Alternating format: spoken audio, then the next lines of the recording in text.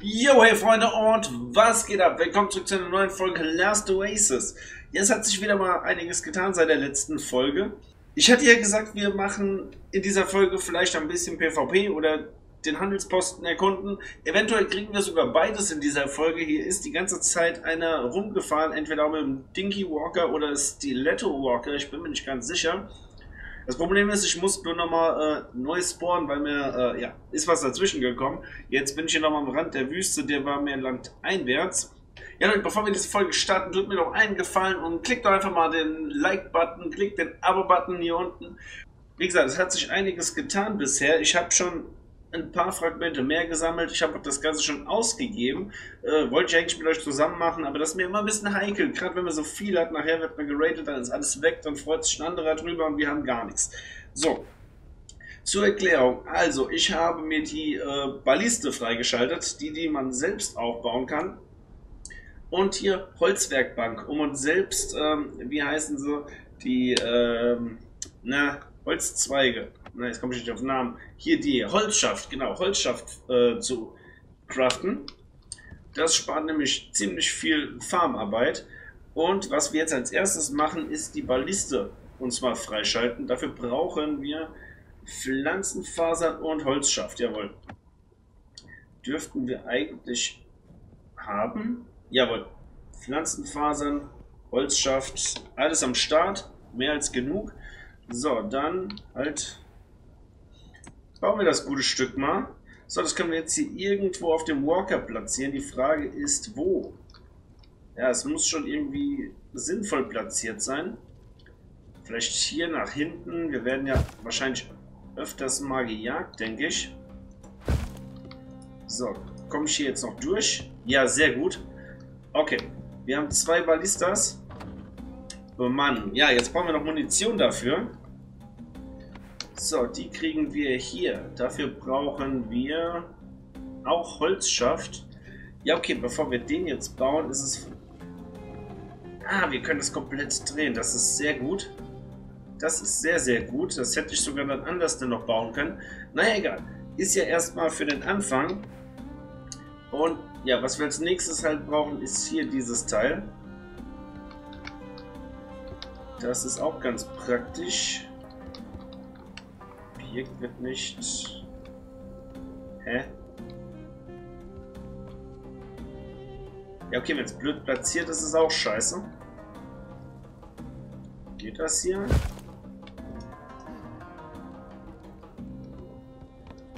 Ja, es war alles ein bisschen voll jetzt, aber egal. So, äh, was brauchen wir denn dafür? Holz und Pflanzenfasern. Sehr gut. Äh, Pflanzenfasern haben wir natürlich. Das, was wir sonst am meisten haben, haben wir jetzt natürlich nicht. Na gut, wir brauchen noch keine äh, volle Munition. Das können wir uns äh, später machen. Uns geht es erstmal hier um die Harpune. So, jetzt haben wir eine Harpune. Denn mir wurde von einem äh, Nutzer geraten, hier vorne mal diese Kisten, die man nur mit den Harpunen äh, benutzen kann, äh, mal auszutesten.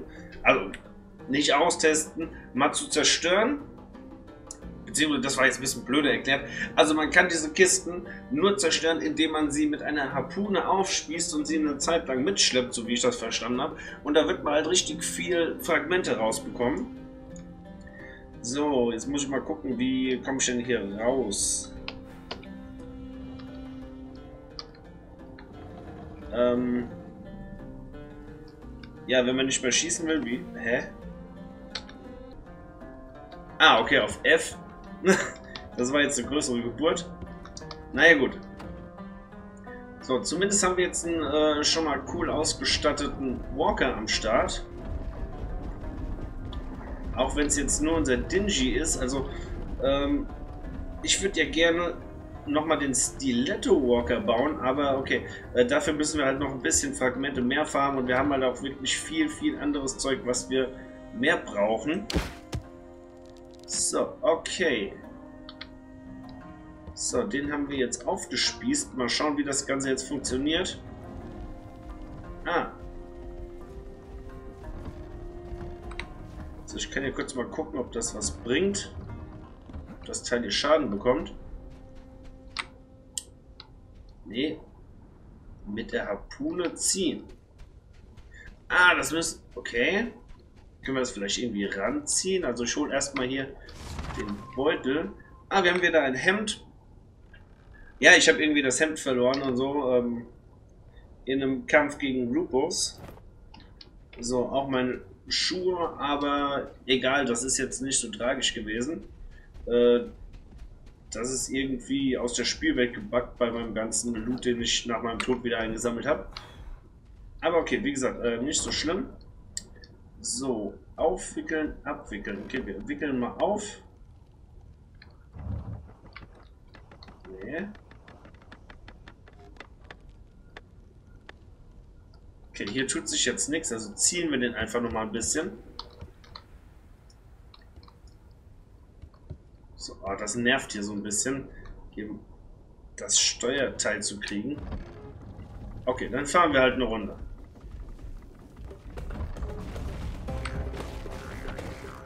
Ah, oh nein! Oh nein, nein, nein, nein, nein! Da unten hinten ist unsere Nemesis. Dieses beschissene Drecksteil.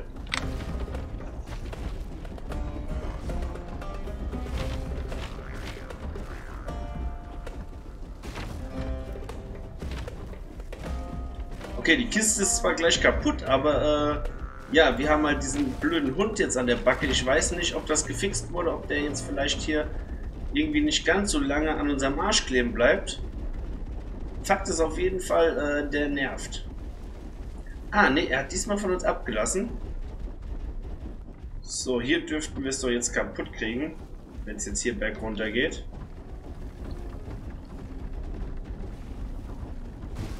Ah, jetzt. So, sehr gut. Die Kiste ist kaputt, also da muss es irgendwie vielleicht noch einen Trick geben, wie man das effektiver machen kann. Auf jeden Fall hat das jetzt ein bisschen länger gedauert. Ähm, egal, mal schauen, was drin ist. 23! Und Errungenschaft freigeschaltet. Drag and Loot, perfekt. Ja, sehr gut. Ähm, das ist nice, das freut mich. Okay, dann nehmen wir hier noch die Kiste. Ich habe jetzt aber keinen Bock, jetzt hier äh, weiter die anderen Kisten zu farmen. Aber 23 auf einen Schlag, das ist so schon richtig cool. Damit können wir arbeiten. So, das verstaue ich hier alles erstmal. So, auf einen Schlag 28 Stück. Jetzt haben wir wieder 30. Jetzt könnten wir eigentlich schon irgendwas Sinnvolles wieder freischalten. Ja, aber was? So, ähm... Gut, die Frage ist jetzt... Ich befinde mich ja eigentlich schon ziemlich in der Nähe hier von... Ähm, ja gut, was heißt in der Nähe? Aber äh, zumindest näher als äh, vorher vom Handelsposten. Und äh, im Handelsposten kann es wirklich auch äh, zu PvP-Situationen kommen. Wo ich mir denke, dass hier der äh, Dinky Walker vielleicht ein bisschen langsam ist, auch wenn wir den jetzt hier äh, schön ausgerüstet haben mit äh, Waffen und sowas. Aber uns fehlt auch noch Munition. Ähm, ich überlege jetzt, den guten hier hochzuladen und mit dem Spider Walker da einfach reinzugehen. Dürfte eigentlich das Sinnvollste sein. Dann brauchen wir nämlich auch nicht unsere andere Ausrüstung jetzt hier opfern. Das Zeug, was wir jetzt eigentlich vielleicht noch brauchen werden, also hier, das hier können wir alles eigentlich hier lassen. So, dann packen wir halt packen wir das ein, das hier, das hier, äh, das können wir mal aufheben. Das packen wir ein, das äh, Tierfett, das heben wir auf. Das äh, könnte nützlich sein. So, Pflanzenfasern, Qualität, die lasse ich hier. Das lasse ich auch hier. Wobei es eigentlich nur eins. Ja, egal lasse ich alles hier. So, das hier nehmen wir auch mit zum Verkaufen. Hier Firma Rucksack, den brauchen wir überhaupt nicht. So, Verbände. Ja, lasse lasse ich sie hier. Ja, lasse ich. Dann packe ich hier das ganze Stein brauchen wir jetzt nicht unbedingt. Palmmehl kriegen wir auch mehr als genug. Dann sind eher das hier die raren Gegenstände. So, ähm. Ja gut, hier vielleicht eine Flasche. könnten wir noch hier lassen. Den Rucksack. Ja gut, ähm, Rucksack lassen wir mal auf. So, ansonsten haben wir eigentlich alles jetzt hier in unserem Dingy Walker drin, dann, äh, was wir behalten wollen. Ich würde mal sagen, den Kerl laden wir jetzt hoch. Wir machen einen kleinen Cut rein. Und sehen uns gleich wieder auf dem Spider-Walker, Leute. Okay, Freunde, ich bin jetzt mit dem Spider-Walker nachgespawnt, habe auch schon den Weg hier zurückgelegt. Ihr seht sie am Horizont, das ist der Handelsposten und ähm, ja, hier kann es jetzt natürlich auch ähm, definitiv zu PvP-Kämpfen kommen, je nachdem, ob andere Spieler da gerade auch sind. Das ist ein vollkommen offener Handelsposten, also da kann jeder hin zu jeder Zeit, wann er will und sich auch mit anderen bekriegen, so wie es aussieht. Und was ich auch gesehen habe, können mal kurz in die Map gucken, beim Spawn ist mir was aufgefallen. Unsere bisherige freie Welt ist... Hä? Okay, das kapiere ich jetzt nicht so ganz. Ähm, mal wird es mir als erobert angezeigt, mal als nicht erobert. Momentan ist äh, die Karte offiziell nicht erobert. Äh, ja, vor fünf Minuten war das noch anders. Da vielleicht tobt hier auch irgendwo schon ein großer Kampf oder so. Ich weiß es nicht. Äh, ist mir auch egal, solange mich keiner damit reinzieht. So, unser Ziel ist es hier zum Handelsposten zu kommen, damit wir endlich den unnötigen Scheiß loskriegen und ein bisschen Kohle dazu bekommen. Damit wir auch ein paar Walker-Upgrades uns irgendwann mal kaufen können. So, ich hoffe, auf dem Weg komme ich auch dahin. Das ist hier halt immer ein bisschen blöder. Ähm, ja, blöde zu erreichen mit den ganzen Schluchten und Abgründen und so Zeug. Ich muss aufpassen, dass ich hier nirgends runterfall. So, aber wir kommen dem Ganzen schon näher.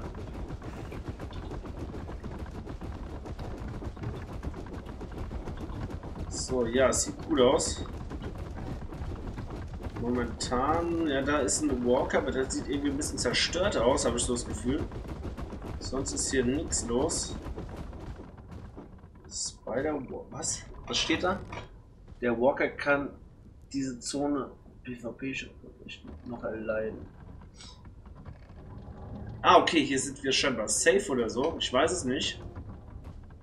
Auf jeden Fall haben wir ein Zeitfenster von 15 Minuten. Und ja, Leute, das ist es. Wir schauen uns mal von weiter Sicht an. Das ist unser Ziel. Hier müssen wir hin. Du, was? Wieder PvP-Schaden anrichten. Ah, okay, also hier sind wir scheinbar doch safe.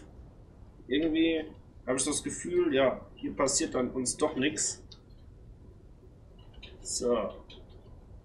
Okay, genug geguckt. Wir müssen weiter. Nicht, dass jetzt hier doch irgendwie was abgeht. Da hinten ist schon wieder so ein blauer Nur. Nur? Keine Ahnung. Ah, da vorne ist ein Verteidigungsturm über meinem Kopf. Den können wir uns bauen, da kann man Waffen platzieren für, ähm, ja, um sein Stuff zu safen. Ich weiß jetzt nur nicht, ob das jetzt ein Spieler-Verteidigungsturm ist oder ganz normal ähm, hier standardmäßig in der Welt platziert. So, ah, wir sind überladen. Okay, das ist natürlich blöd. Wir müssen hier ein bisschen Ballast loswerden. Ich hoffe, wir haben jetzt hier nichts Wichtiges, was zu schwer für uns ist. So, ja gut. Stein und das hier können wir da lassen. Holz braucht kein Mensch. Das hier... So, jetzt... Ja, jetzt müsste es gehen. So, okay, da ist auch ein zerstörter Spider-Walker.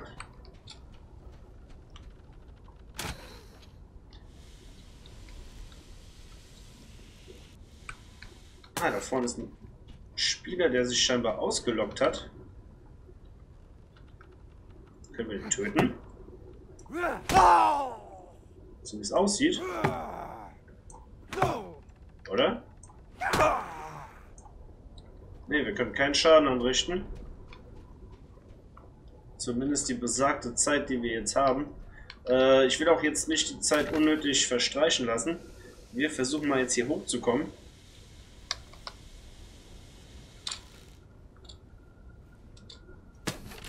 So, okay. Hier gibt es auch, glaube ich, verschiedene Händler, wo wir verschiedene Sachen kaufen können. Oder? Hier können wir schon mal nichts machen. Ah, hier ist... Hier können wir handeln, okay. Habe ich noch nie gemacht. Sofortverkauf verkaufen. Ah, ich würde eigentlich gerne Sofortverkauf machen. Erdwachs hier. Das hier für 13. Haben wir es? Da stand 13 und ich krieg 11. Was ist für ein Beschiss? Naja, okay. So. Bienenwachs ist schon richtig teuer. Kriege ich aber auch nicht alles raus.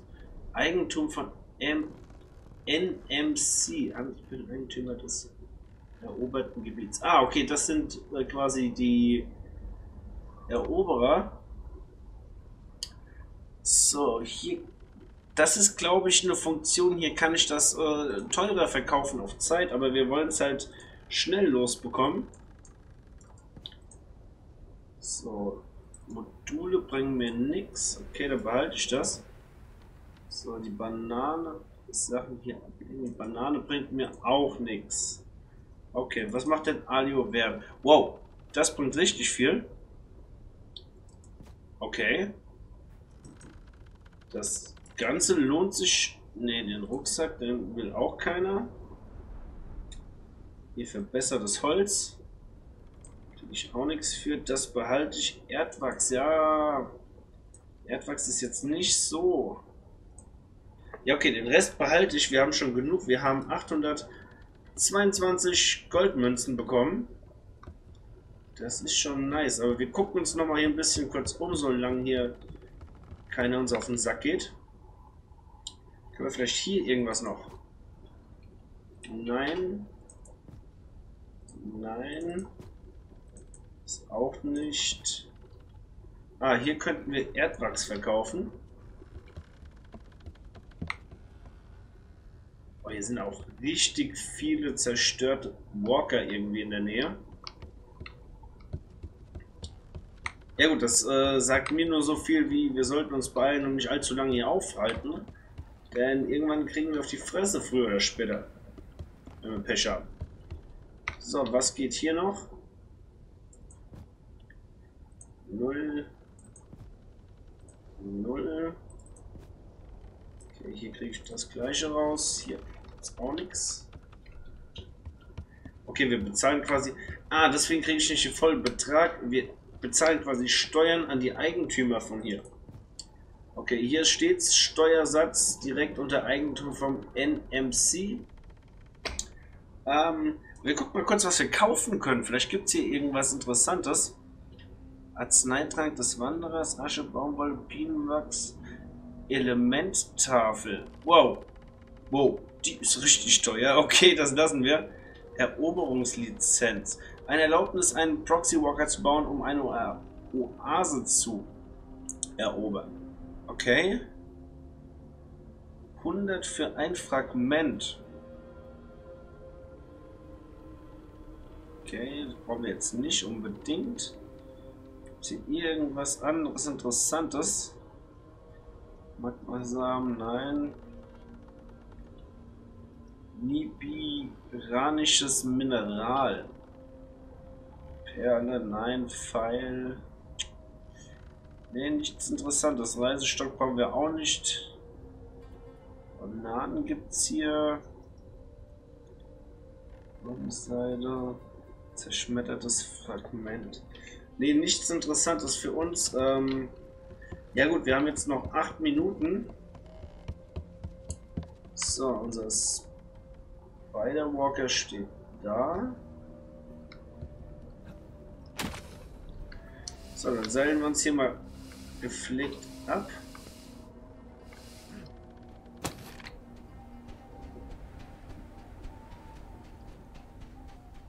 Ach, dem Teil hier wurden die Beine weggeschossen. Ah, deswegen... Ah, okay, aber hier haben wir jetzt schon wieder einen guten Ansatz für uns, wo wir unsere Kisten zum Beispiel platzieren können.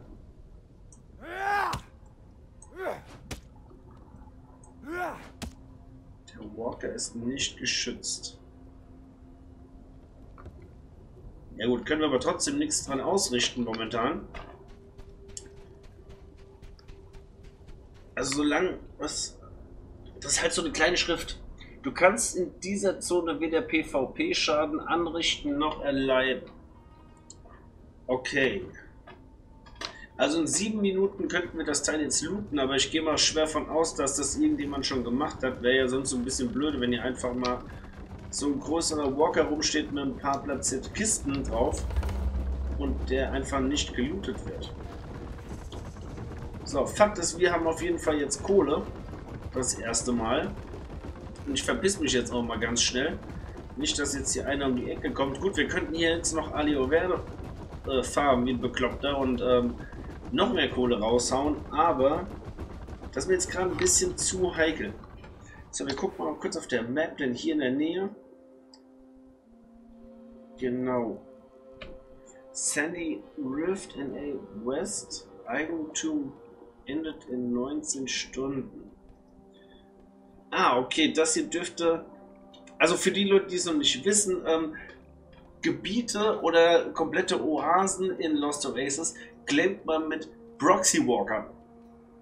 Das sind spezielle Walker, die bauen sich auf. Die, das dauert, glaube ich, eine Stunde, die, äh, in der man die Dinger verteidigen muss, bis die fest platziert sind. dann ist man, glaube ich, 24 Stunden lang erstmal geschützt und das Teil ist unzerstörbar. Das heißt, hier 19 Stunden und 18 Minuten lang ist jetzt definitiv diese Oase den jetzigen Eigentümern und daran kann keiner was ändern. Erst nach Ablauf der Frist sind die wieder angreifbar. Ich bin mal gespannt, was passiert. Also, ja, das wird dann jetzt äh, laut meiner Zeit jetzt morgen Nachmittag sein wo dann vielleicht was abgeht. Also das sollte ich mir vielleicht vormerken. Äh, zu der Zeit dürfte ich auch ähm, online sein, denke ich mal. Ähm, ich werde dann mal auf jeden Fall diesen Platz auskundschaften, mal schauen, was da passiert, was da abgeht. Also die werden wahrscheinlich auch die Zeit jetzt nutzen, um sich da ordentlich äh, auszurüsten und eine Festung zu bauen mit ähm, Geschütztürmen und was weiß ich. Wäre ja ein bisschen blöde, wenn nicht. So, aber auf jeden Fall, äh, mein Ziel in dieser Folge ist erfüllt. Wir haben endlich, endlich unseren Digiwalker ein bisschen bewaffnet. Wir haben Sachen freigeschaltet. Wir haben rausgefunden, wie wir die Harpunenkisten looten können. Wir haben den Handelsposten endlich erreicht und äh, Geld verdient und unseren Stuff, den wir nicht brauchen, endlich losbekommen. Das Einzige, was wir in dieser Folge nicht hatten, war PvP, da ich mich frühzeitig ähm, zwischendurch ausloggen musste, wo hier ein paar rumgefahren sind. Aber okay, ähm, ich beklag mich nicht. PvP wird wahrscheinlich noch früher kommen, als es mir lieb ist.